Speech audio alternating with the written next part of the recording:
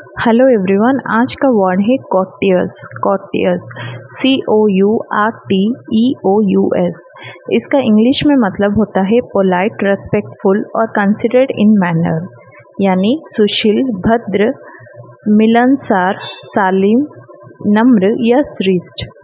अभी एग्ज़ाम्पल में समझते हैं he was kind and cautious man वो एक दयालु और विनम्र व्यक्ति थे.